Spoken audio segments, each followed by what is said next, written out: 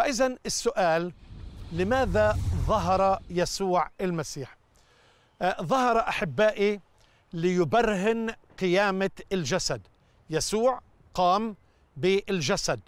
وحتى بعد القيامة أكل مع التلاميذ. وتحدى التلاميذ قال جسوني. عظم يعني آه لكنه كان جسد ممجد. ومش بس هيك تحدى توما قال له تعال يا توما حط إصبعك. فآمن توما ربي وإلهي. فمهم جدا أحبائي ليبرهن قيامته بالجسد. شيء ثاني أحبائي آه ظهر المسيح للتلاميذ لتقوية إيمانهم. فالمسيح ابتدأ في إرساليته في دعوته للتلاميذ خلال فترة ثلاث سنين ونص كان معهم. والآن البرهان والدليل الساطع أنه حي أمامهم أمامهم وقوى إيمانهم. قال يسوع أنا هو الطريق والحق والحياة ليس أحد يأتي إلى الآب إلا بي. والمسيح صرح أيضا أنا هو القيامة والحياة من آمن بي ولو مات فسيحيا وكل من كان حيا وآمن بي فلن يموت إلى الأبد.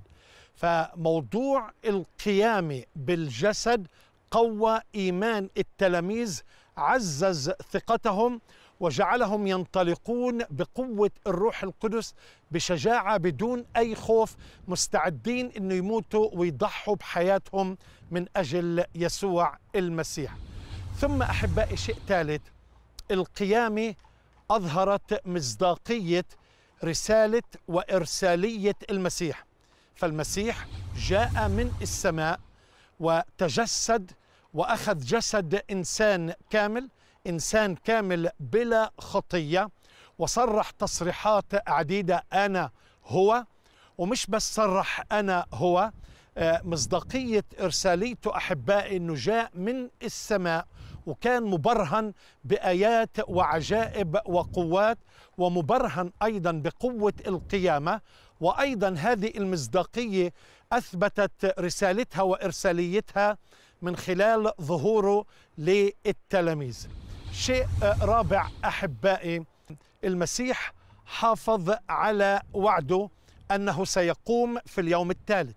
فرأوا انه فعلا يسوع المسيح قام في اليوم الثالث وهذا يعتبر تأكيد وأثبت طبعا كل شيء. التأكيد مش بس إنه قام وإنه ظهر وإنه صعد إلى السماء. وفي السماء راح تكمل خدمته راح يكون وسيط وراح يكون الشفيع. ولكن أيضا وعد بإرسال الروح القدس.